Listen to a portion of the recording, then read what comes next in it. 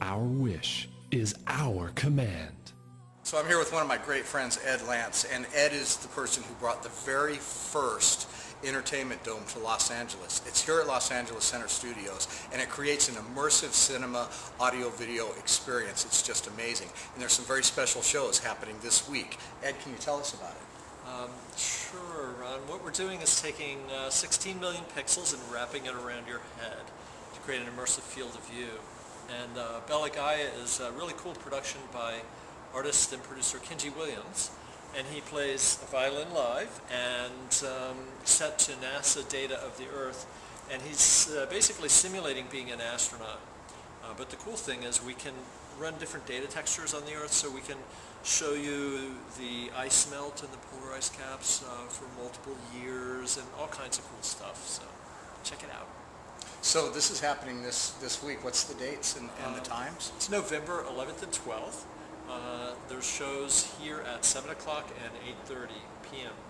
And uh, this is uh, downtown LA, Los Angeles Center Studios, the Vortex Dome.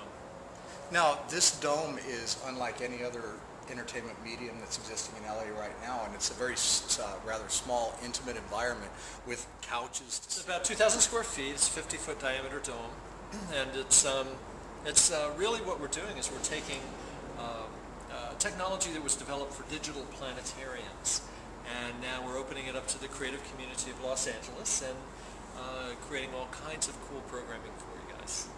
So come on out and check out this show. It's a truly immersive experience. Bella Gaia is a beautiful production that will totally envelop you from all of your senses, and it's something absolutely to see. Be on the cutting edge of the future of entertainment.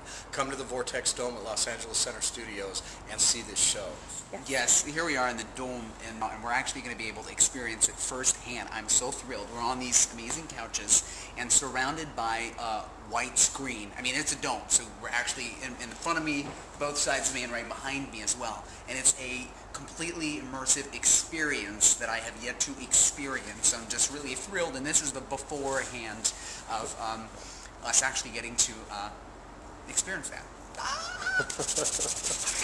So you got to make sure to visit vorteximmersion.com. That's vorteximmersion.com, and you'll get all the details, all the information that you need to make sure that you show up for this event that will blow you away, guaranteed.